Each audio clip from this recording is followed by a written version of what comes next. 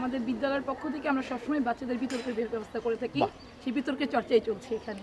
বিতর্কের চর্চা। তো আজকের বিষয়টা কি? আজকের বিতর্কের বিষয় হচ্ছে শ্রেণীতে ছেলেদের তুলনায় মেয়েরাই অধিক মনোযোগী। আচ্ছা আমরা এক কাজ করি। আমরা একটু একটু করে ওদের কথাও শুনি ওদের কথাও শুনি। মানে পক্ষ বিপক্ষ দুইটাই শুনি। তারপরে বিচারের জায়গায় যাচ্ছি কারা আসলে মনোযোগী। শুরু করবে কারা? পক্ষ থেকে শুরু করব। শুরু। মাননীয় বিচারক মণ্ডলী উপস্থিত দর্শকবৃন্দ ও আমার প্রতিপক্ষ বন্ধুরা সবাইকে আমার শুভেচ্ছা ও সালাম। আসসালামু আলাইকুম। আজকের বিতর্কের বিষয়, ছেলেকে ছেলেদের তুলনায় মেয়েরাই অধিক মনোযোগী। অত্যন্ত যুক্তিসঙ্গত কারণে বিতর্কের পক্ষে আমার অবস্থান। আমরা জানি বিদ্যালয়ে সভ্যতার ফুল ফোটানো হয়, কিন্তু সব ফুল কাটামুক্ত হয় না। প্রতিপক্ষ বন্ধুরা, ছাত্র নামের আড়ালে লুকিয়ে থাকা সে সকল কাটার কথাই বলছি। যারা ক্লাসে বিশৃঙ্খলা সৃষ্টি করে, শ্রেণীকক্ষের মনোযোগে ব্যাঘাত ঘটানোর চেষ্টায় লিপ্ত হয়। এ ধরনের তথাকথিত ছাত্ররা শুধু শ্রেণীকক্ষেই নয়, বরং পুরো দেশের উন্নতিতে বাধা হয়ে দাঁড়ায়। প্রতিপক্ষ বন্ধুরা, মেয়েরা এখন ঘর এবং ঘরের বাইরে, উভয় স্থানেই ভারসাম্য বজায় রেখে সমান তালে এগিয়ে চলেছে। প্রমাণ করছে, সব ক্ষেত্রেই তারা ছেলেদের তুলনায় এগিয়ে। শ্রেণীকক্ষে যে তারা ছেলেদের চেয়ে দশ গুণ এগিয়ে, তার প্রমাণ বিগত দশ বছরের এসএসসি এইচএসসি ও সমমানের পরীক্ষার ফলাফল। শুধু তাই কেন, বর্তমান প্রেক্ষাপটে সমাজের যেদিকেই তাকান না কেন, নারীরা উন্নতির শীর্ষে পৌঁছে গেছে। বর্তমানে প্রধানমন্ত্রী, স্পিকার থেকে শুরু করে দেশ পরিচালনার অগ্রগণ্য ভূমিকায় নারী, এমনকি বর্তমানে শিক্ষামন্ত্রী একজন নারী। কি বলবেন প্রতিপক্ষ বন্ধুরা? এসব কি একদিনে সম্ভব হয়েছে? সুতরাং আমরা আশা করতে পারি আপনারা মেনে নেবেন শ্রেণীকক্ষের ছেলেরা নয় মেয়েরাই অধিক মনোযোগী। বাহ চমৎকার। আপা এরপরে আমরা কার বক্তব্য শুনব? এখন আমরা বিপক্ষ দলের প্রথম বক্তার বক্তব্য শুনব। প্রথম বক্তা। শুরু। কাটাহেরি খান্ত কেন কোমলতুলিতে দুঃখ বিনা সুখ লাভ হয়। কি মোহিতে? প্রতিপক্ষ বন্ধুরা খুব সুন্দরভাবে আমাদের ছেলেদের কাটা বলে সম্বোধন করে গেলেন। কিন্তু আপনার দৃষ্টি আকর্ষণ করছি, সব গোলাপ কিন্তু কাটাযুক্ত হয়, কাটা মুক্ত নয়। এতে গোলাপের সৌন্দর্য এতটুকু ক্ষুণ্ণ হয় না প্রতিপক্ষ বন্ধুরা। আর আপনারা, আপনাদের কিছু আবেগিক কথা দ্বারা আমাদের ছেলেদের অমনোযোগী প্রমাণ করার ব্যর্থ প্রয়াস করবেন না। সম্মানিত বিচারক মণ্ডলী সদ্য শিক্ষক মণ্ডলী, আমার প্রতিপক্ষ বন্ধুরা এবং উপস্থিত দর্শকবিন্দু, সবাইকে আমার পক্ষ থেকে আন্তরিক শুভেচ্ছা ও সালাম। আসসালামু আলাইকুম। আজকে আমাদের বিতর্কের বিষয় হচ্ছে, শ্রেণীতে ছেলের তুলনায় মেয়েরা অধিক মনোযোগী। অত্যন্ত যুক্তিসঙ্গত কারণে আমি বিপক্ষে অবস্থান করছি।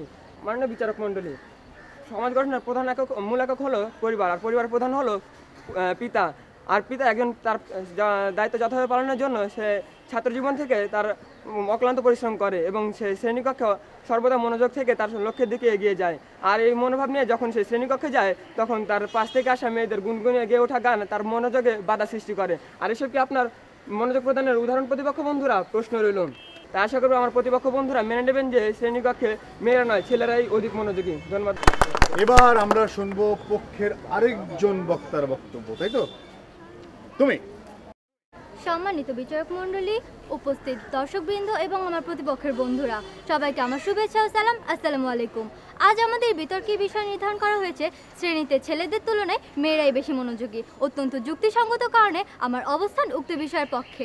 সম্মানিত বিচারক মণ্ডলী, এতক্ষণ আমার প্রতিপক্ষ বন্ধুরা অনেক নানা গালভার আবেগী কথা বলে গেলেন এবং এই আবেগী কথা তাদের, তারা তাদের আবেগী যুক্তি দেখে গেলেন। কিন্তু প্রতিপক্ষ বন্ধু, কথায় চিড়ে ভেজে না, কথায় যুক্তি থাকা লাগে। প্রতিপক্ষ বন্ধুরা, আপনারা বলে গেলেন বিশ্ববিদ্যালয়ে ভর্তিতে ছেলেরা এগিয়ে থাকে। আপনাদের অবগতির জন্য বলছি এখনও আমাদের বাংলাদেশের অনেক ছাত্রীরা তীক্ষ্ণ মেধার অধিকারী হওয়া সত্ত্বেও পারিবারিক নানা সমস্যার কারণে তারা ঝরে পড়ে। বিশ্ববিদ্যালয়ে ভর্তি পরীক্ষা দেওয়ার সুযোগও হয় না তাদের। তাই আপনারা যা বলে গেলেন তা নিতান্তই ফাঁকা মাঠে গোল দেওয়ার মতো হয়ে গেল। প্রতিপক্ষ বন্ধুরা এত কিছু বলার পরে যদি আমার প্রতিপক্ষ বন্ধুরা বারবার একই কথা বলে থাকেন, তাহলে তার আপনাদের অবস্থা ঠিক এরকমই। জলেতে নামিব, সাঁতার কাটিব, চুল ভিজাইব না, সত্যকে সত্য বলিয়া মানিয়া লইব না। ধন্যবাদ সবাইকে। বাহ! এবার বিপক্ষের দ্বিতীয় বক্তা। উপস্থিত দর্শকবৃন্দ ও আমার প্রতিপক্ষ বন্ধুরা, এবং যারা শুনছেন, সবাইকে আমার পক্ষ থেকে আন্তরিক শুভেচ্ছা ও সালাম। আসসালামু আলাইকুম। আজকে আমাদের বিতর্কের বিষয় হচ্ছে শ্রেণীতে ছেলেদের তুলনায় মেয়েরাই অধিক মনোযোগী। অত্যন্ত যুক্তিসঙ্গত কারণে আমি এর বিপক্ষে অবস্থান করছি। প্রতিপক্ষ বন্ধুরা, ক্লাসে অমনোযোগিতার কারণে এক ছাত্রী পরীক্ষায় নকল করার চেষ্টা করে, আর সে নকল করতে সফল না হয় ছাদ থেকে লাভ দিয়ে আত্মহত্যা করে। হ্যাঁ বন্ধুরা, আমি আমাদের প্রাণকেন্দ্র অধরচন্দ্রের কথা বলছি। এছাড়াও ছাত্রীরা রাতে ভারতীয় হিন্দি সিরিয়াল দেখে এবং সকালে ক্লাসে এসে সেই হিন্দি সিরিয়াল ডায়লগ দেয়। তাই বীর বাঙালি রিমোট ধরো, হিন্দি সিরিয়াল বন্ধ করো। স্টার জলসা, জি বাংলা, ধ্বংস করছে সোনার বাংলা। আর এই ফাঁদে পা দিচ্ছে আমাদের দেশের তরুণীরা। বোঝে না সে বোঝে না, ভালো মন্দ খোঁজে না। স্কুল থেকে বাসায় গিয়ে এসব প্রোগ্রাম দেখে আর পরের দিন স্কুলে এসে এই কার কী হয়েছে তা নিয়ে ব্যস্ত থাকে। এসব ওই কি মেয়েদের মনোযোগিতার উদাহরণ? প্রতিপক্ষ বন্ধুরা প্রশ্ন রইল। আশা করি উত্তরটি জানিয়ে দেবেন। মাননীয় বিচারক মণ্ডলী, ছেলেরা যদি ক্লাসে মনোযোগী নাই হতো, তাহলে এদেশে ডাক্তার, শিক্ষক ইঞ্জিনিয়ার এসব ক্ষেত্রে শুধু মেয়েদেরই দেখা যেত। কিন্তু লক্ষ্য করলে দেখা যায়, এসব ক্ষেত্রে মেয়েদের থেকে ছেলেদের অবদানই বেশি। এত কিছু সত্ত্বেও যদি আপনারা বলে থাকেন যে ছেলেরা ক্লাসে অমনোযোগী, তাহলে তো বলতেই হয়, আপনাদের মধ্যে ন্যূনতম সাধারণ জ্ঞানটুকু নেই। ধন্যবাদ সবাইকে। বাহ! চমৎকার চমৎকার। স্টার জলসা জি বাংলা, ধ্বংস করছে সোনার বাংলা। এর বিপক্ষে এবার বক্তব্য শুনব ক্লাসের ছেলেদের চাইতে মেয়েরা বেশি মনোযোগী। এই বিতর্কের আজকের পক্ষের তৃতীয় বক্তা দলনেতা। ধন্যবাদ মাননীয় বিচারক মণ্ডলী আমাকে সুযোগ প্রদানের জন্য। প্রতিপক্ষ বন্ধুরা, শুনেছি এমটি ভার্সাল সাউন্ড মাছ, অর্থাৎ খালি কলসি বাজে বেশি। আপনাদের কাজের ফল শূন্য, অথচ আপনারা খালি কলসির মধ্যে বেজে বেজে উঠছেন বারবার। আমার প্রতিপক্ষে দ্বিতীয় বক্তা বলে গেলেন, মেয়েরা নাকি হিন্দি সিরিয়ালে ব্যস্ত থাকে। কিন্তু প্রতিপক্ষ যদি এই প্রসঙ্গে আসতে হয়, তবে বলতেই হচ্ছে যে, বর্তমানে পাবজি নামের বহু আলোচিত গেমস নিয়ে ছেলেরা এত বেশি মগ্ন থাকে যে, তারা সারা রাত জেগে গেমস খেলে এবং সকালে এসে এগুলো নিয়ে গল্প করে। ক্লাসা শিক্ষকদের পড়ানোর সময় মনোযোগ না দিয়ে তারা ঝিমতো থাকেন। প্রতিপক্ষের বন্ধুরা নারীদেরকে পুরুষেরা সবসময় দমে রাখার চেষ্টা করেছে।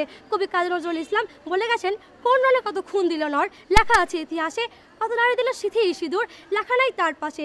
প্রতিপক্ষের বন্ধুরা, নারীর অবদানের কথা সবসময় ধামাচাপা দিয়ে রাখা হয়। যদি পুরুষের মতো নারীর অবদানের কথা লেখা হতো, তাহলে সমাজের প্রতিটি শাখায় নারীর মেধা ও মনন আরও স্পষ্ট হয়ে উঠতো। এত সব যুক্তি উপস্থাপনের পরও যদি আমার প্রতিপক্ষের বন্ধুরা আমার সাথে একমত না হয়, তবে বলতেই হচ্ছে, চোখ থাকিতেও অন্ধজোড়া আলোকের দুনিয়ায়, সিন্ধু সাচিয়া বিশ্ব তারা অমৃত নাহি পায়। ধন্যবাদ মাননীয় বিচারক মণ্ডলী ধন্যবাদ উপস্থিত সকলকে। বাহ বাহ বাহ মন্ত্রমুগ্ধের মতো সব বক্তব্য শুনছি। এবার বিপক্ষের শেষ বক্তা। কি নাম? রিফাত হাসান। ও কি দলনেতা? দলনেতা রিফাত হাসান।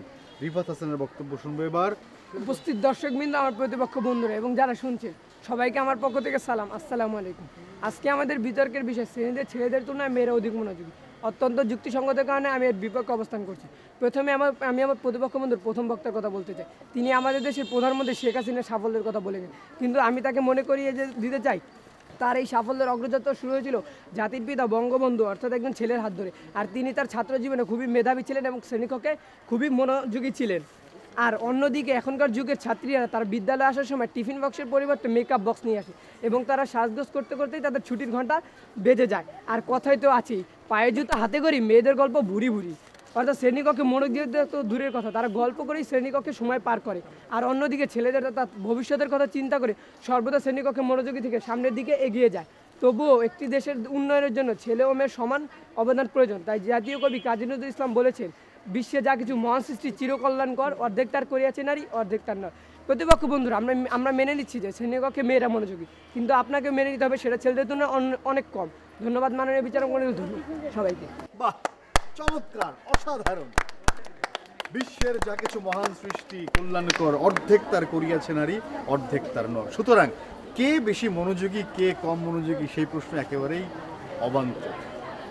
ছেলে মেয়ে উভয়ই পাশাপাশি কাঁধে কাঁধ মিলিয়ে আমরা সামনের দিকে এগিয়ে যাচ্ছি, সামনের ভবিষ্যৎ গড়ছি, সোনার বাংলাদেশ করছি মাননীয় প্রধানমন্ত্রী শেখ হাসিনার স্বপ্নের বাংলাদেশ করছি আমরা সবাই মিলে। তাই তো নাকি বিষয়টা?